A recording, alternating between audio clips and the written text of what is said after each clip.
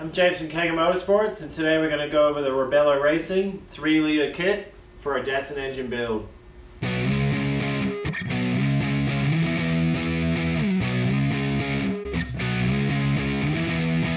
So if you've been following along with the Datsun engine build videos, you've probably seen the work we've done to the block and the work we're starting to get done on the head. So as part of the build, we went to Rebello Racing. They did a lot of the machining work for us and the work that we needed to get done on the cylinder head, setting up the valves and stuff.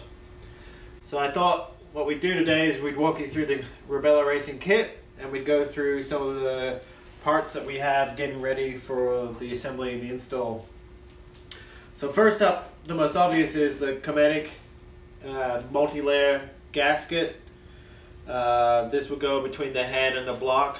We used an older version of this um, that was all tore up when we were doing the cylinder head work just to mark out which what the bore sizes were when doing the combustion chamber polishing you've probably seen and then also to protect the deck surface uh, when we were working on the porting of the car. So that's first thing up. We also got their billet custom spray bar for the cam so it has a bunch of holes along the length of this bar. It bolts up to the cam towers and then it sprays the cam as it's rotating. So the cam also has an internally oiled holes. So oil feed goes through both the cam and then out to the spray bar which also uh, coats the lobes with, with oil while it's operating. Next up for the cam towers, we had to have both the top and bottom surfaces faced, and so when we did that, we needed some cam tower shims. So we'll be installing these when we put the new cam towers back into the head. Uh, these are about 30 thousandths, and so we'll give these a clean up and just make sure there's no burrs before we install them. Uh, next up, you probably see a bunch of these parts down here. So we have a bronze drive that will go on our crankshaft on the nose, and this will drive both the distributor and the oil pump.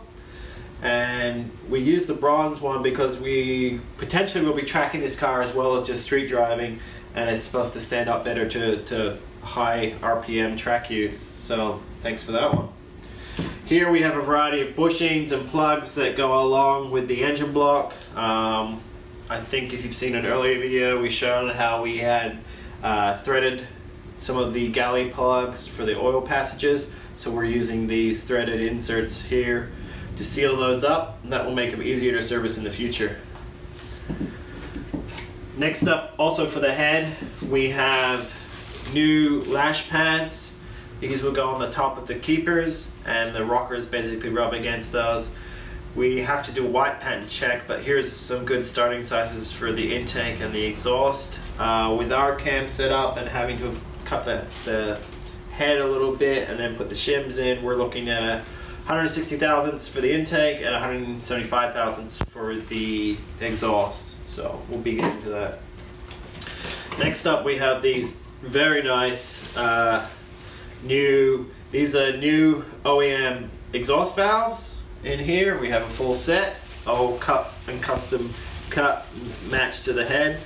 And then we also have these larger SuperTech custom cut um, intake valves and you'll see here they neck down here to uh, reduce the thickness of the valve stem at the port flow area. So we've had all these cut they're numbered and then those will be numbered and matched to the cylinders as we go forward. We'll, when we assemble the head, we'll put all of these together, put the lash pads in, do some wipe pattern checks with the, uh, with the camshaft, and then make sure everything's good to go. We also need to do a check to make sure that there's no um, valve to piston interference, uh, and we want to make sure we have enough clearance there when we're timing the motor. So get started on those. Next up, we have springs. So we have new outer springs. We'll use the standard stock Nissan inner springs, the hats and the keepers from the, our previous head. Uh, we'll pick the best sets of those from the set of heads we have, and then we have these hardened spring seat washers that we'll use. Uh, these outer springs basically sit on those hardened washers, um, and and that will give us the right geometry and also the right hardness on the head so these springs don't end up digging into the original aluminum spring seats. So, uh, good full set of those going forward. We also got a set of uh, valve stem seals, so we'll install those. Uh, the important thing when installing these is to make sure that you don't like catch them or scratch them, uh, as that can cause oil to drip down through the valves um, into the head, and then you'll get smoke that you commonly see. Um, so we have a variety of these. We also have to clean up the old seats and make sure we removed any of the old remnants of the old valve seals. Um, then next up we've got a set of rod bearings. So these are the new smaller size ground down the cam to give us more of a stroke. And so these are the size of the rod bearings. So what you'll see us do is we'll go through and we'll size these bearings measure them up match the pairs to the rod sizes and give us the clearance that we need um, going forward. Then we have a full set of new main bearings here. And so these set of main bearings same thing. We'll go through we'll measure these size them up match them to the different mains and the crankshaft to make sure we have enough clearance and then we will go through when we're assembling the motor and just double check things. So full set of rod bearings, full set of uh, main bearings. So next up we have the Eagle rods. So these are forged H-beam rods from Eagle, custom made for Rebello. They're a very nice piece of work, uh, full set of six. And so you can see here the quality of the rods. So what we'll do is we'll go through and we will weigh these rods and then we will balance both the small end and the big end.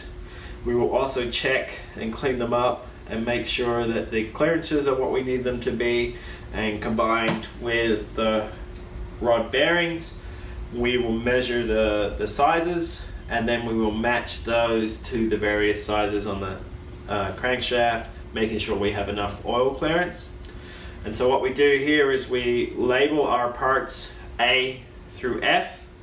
Um, and then once we've done all our measurements and our weights, we'll go through and we will assign the letter to the cylinder. And so we'll, we'll remove the A's and we'll either give them a 1 or a 5 or whichever cylinder they end up being better suited to.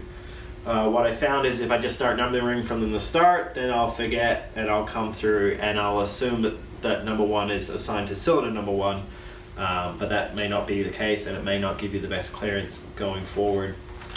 Um, so nice piece of kit. Um, glad to have these. These again have the smaller size big end here that is matched to the ground down crank that will give us more stroke uh, for the 3 liter engine build. So, and then next up, if I can close that box, uh, we have the JE pistons. These are again custom built piece for Rebello Racing.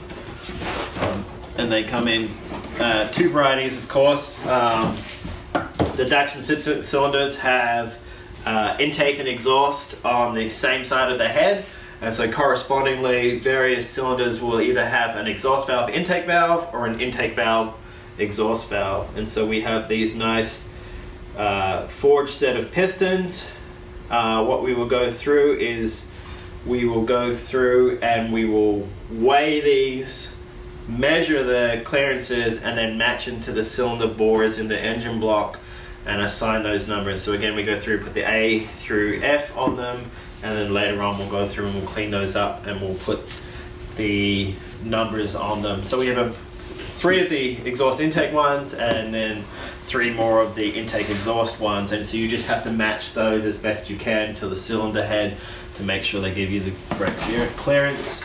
Along with those we have four sets of uh, rings so they come with a top ring, um, the second ring and of course the oil scraper rings. So full set, very nice set of rings.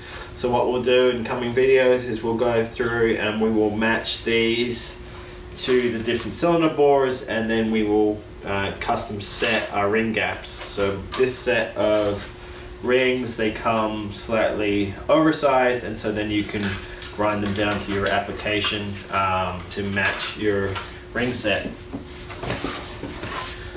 Uh, along with the pistons, we of course have the pins that connect the pistons to the rods. And so these, again, we've labeled them A through F and we will weigh them.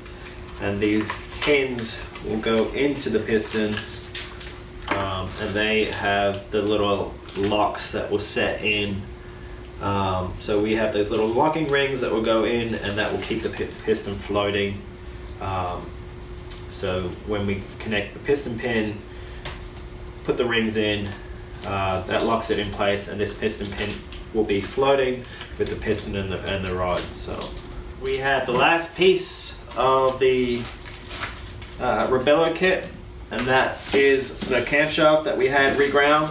Um, this camshaft was ground for street use and like track use, so it's not a race camshaft, but it does have improved performance.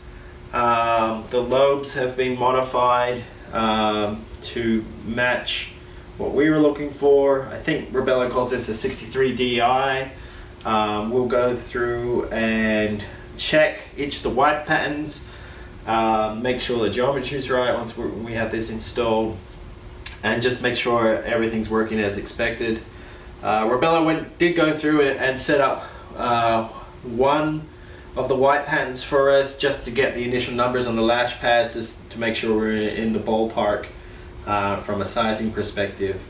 Um, but looking forward to getting this thing in, looking forward to hearing how it sounds in the car.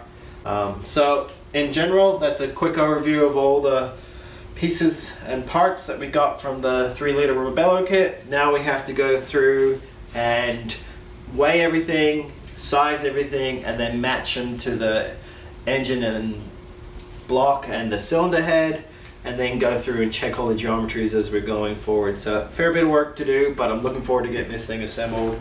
Um, some really nice pieces here. Um, thanks for watching. Uh, if you have any questions, leave a comment below or send us an email. Uh, we look forward to talking to you and we'll see you on the next video.